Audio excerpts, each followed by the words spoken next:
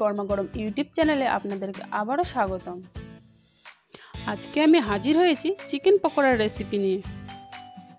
সন্ধ্যার সময় চায়ের সাথে চিকেন পকোড়া জাস্ট জমে যায়। কীভাবে খুব সহজে চিকেন পকোড়া বানানো যায় চলুন দেখে নেওয়া যাক।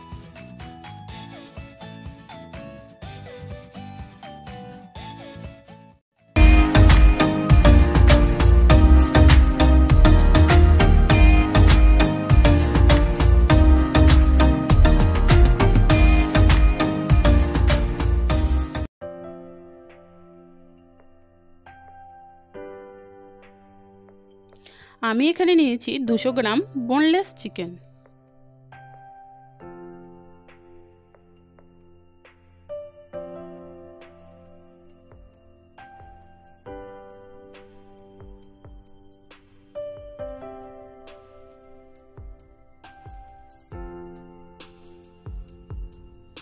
লঙ্কা গুঁড়ো হাফ চামচ, হলুদ গুঁড়ো হাফ চামচ, জিরে গুঁড়ো হাফ চামচ চাট মশলা হাফ চামচ, বেসন এক কাপ, গরম মশলা হাফ চামচ, চাল গুঁড়ো দু চামচ, আদা রসুন বাটা এক চা চামচ, স্বাদ মতো লবণ, এক চামচ ভিনিগার।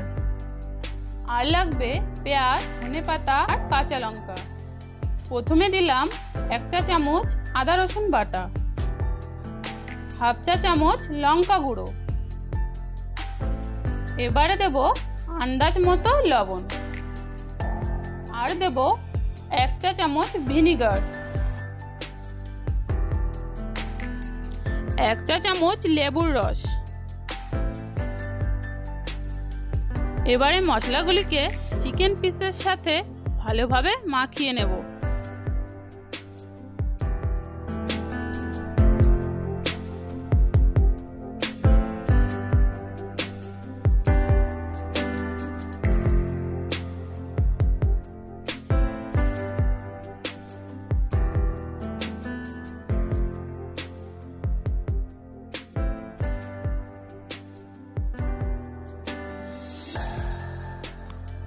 এরপরে এটাকে মেরিনেশন করতে রেখে দেব আধ ঘণ্টার জন্য।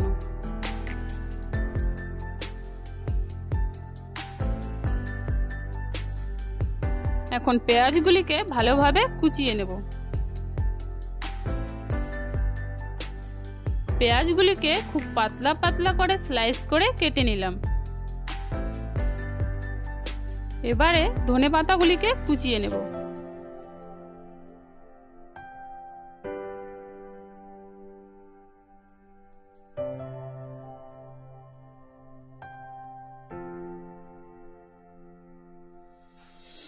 কাঁচা লঙ্কা দুটিকে পাতলা পাতলা করে কুচিয়ে নেব।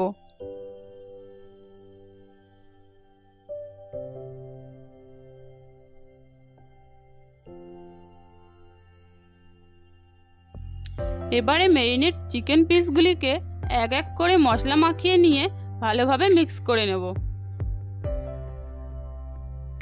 হাফ চা চামচ হলুদ গুঁড়ো দিলাম। হাফ চা চামচ গরম মশলা দিলাম।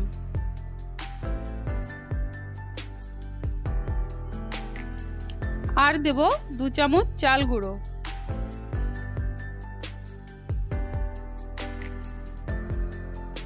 আমার এখানে এক কাপ বেসন লাগবে, কিন্তু আমি প্রথমে পুরোটা দিয়ে দেব না, অল্প অল্প করে দিয়ে মাখাতে থাকব।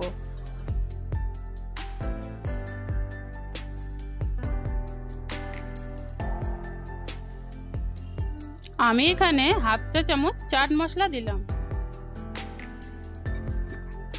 এবার আমি এখানে কুচিয়ে রাখা পেঁয়াজগুলিকে দিয়ে দেব।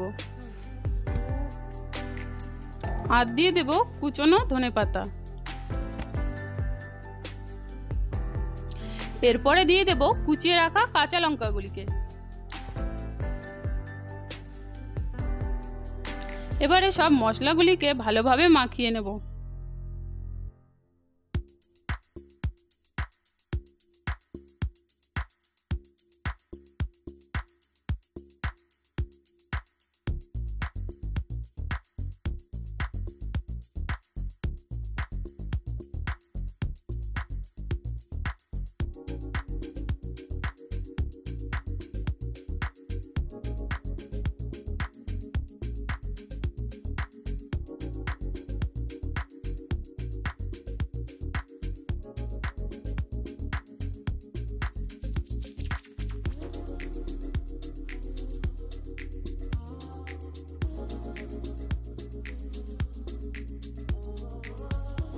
মিশ্রণটা যদি মোটা লাগে, তবে একদম অল্প পরিমাণে জল দিয়ে একটু নরম করে মাখিয়ে নিতে হবে।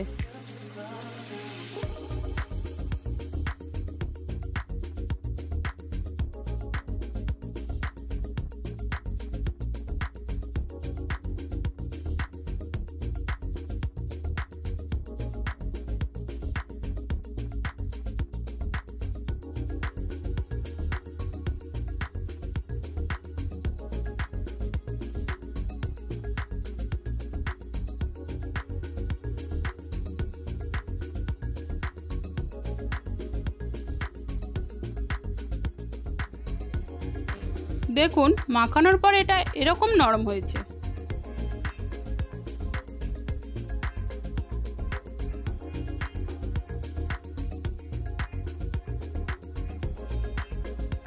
পকোড়াগুলিকে ভাজতে গেলে কম আঁচে ডুবো তেলে ভাজতে হবে।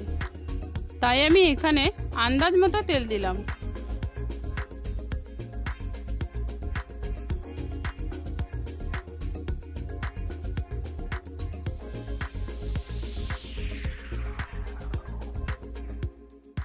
তেলটা গরম হওয়া পর্যন্ত অপেক্ষা করব। এবারে এক এক করে সমস্ত পিসগুলিকে ছোট ছোট পকোড়ার আকারে বানিয়ে নিয়ে গরম তেলে ছাড়বো।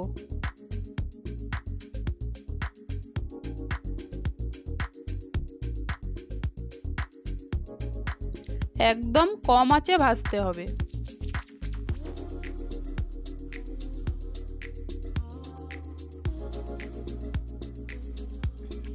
মাঝের মধ্যে পকোড়াগুলিকে উল্টে পাল্টে দিতে হবে।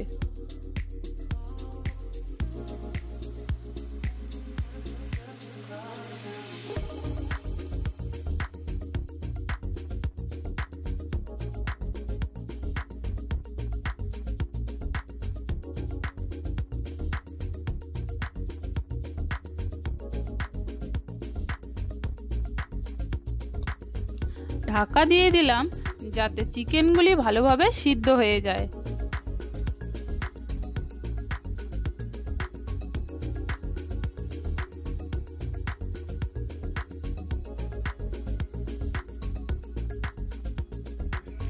মাঝের মধ্যে পকোড়াগুলিকে উল্টে পাল্টে দিতে হবে।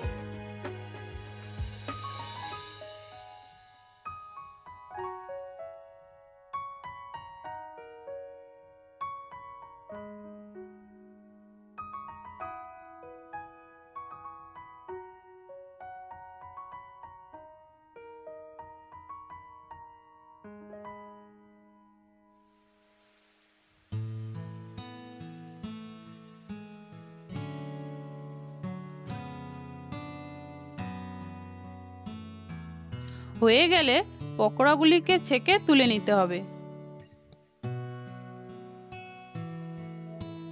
পকোড়াগুলি হয়ে গেছে, এবারে আমি ছেঁকে তুলে নেব।